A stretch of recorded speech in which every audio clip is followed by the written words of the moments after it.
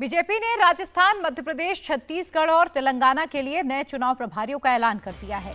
प्रहलाद जोशी का राजस्थान का चुनाव प्रभारी बनाया गया है, जबकि नितिन पटेल और कुलदीप बिश्नोई राजस्थान में चुनाव सह प्रभारी होंगे। छत्तीसगढ़ की कमान ओम प्रकाश माथुर को दी गई है, जबकि मनसुख मंडाविया सह प्रभारी होंगे।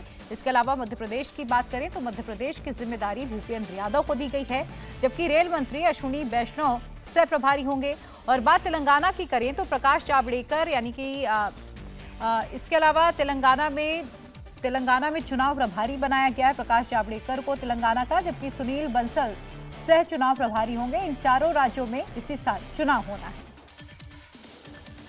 इंडिया टीवी, हर वक्त, हर जगह। डाउनलोड करने के लिए सर्च करें India TV news, Google play store या एप स्टोर पर।